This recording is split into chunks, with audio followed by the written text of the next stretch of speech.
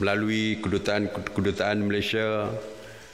kedutaan-kedutaan kita di luar negara terus memantau rakyat kita di luar negara yang terkandas dan usaha untuk membawa balik mereka dilaksanakan oleh Kementerian Luar Negara. Misalnya, seramai 355 rakyat kita yang berada di Algeria dan Tunisia dibawa balik dan dibiayai oleh syarikat oleh majikan mereka.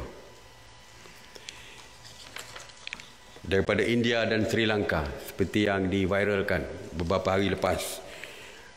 seramai 51 orang sedang dalam proses untuk dibawa pulang. Begitu juga dengan daripada Mesir seramai 285 orang rakyat kita telah pun tiba di Malaysia manakala daripada Arab Saudi seramai 80 rakyat kita 80 orang rakyat kita telah tiba dengan ditanggung oleh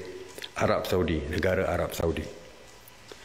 di Turki seramai 352 rakyat kita yang terkandas dan sedang di dalam tindakan Kementerian Luar untuk membawa pulang mereka. Jadi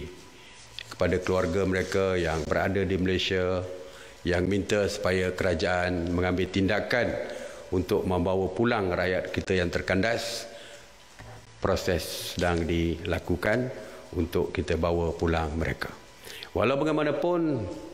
kepada pelajar-pelajar kita yang berada di luar negara seperti yang telah saya sebutkan daripada dulu bahawa kalau boleh tinggallah di negara yang berkenaan dahulu ya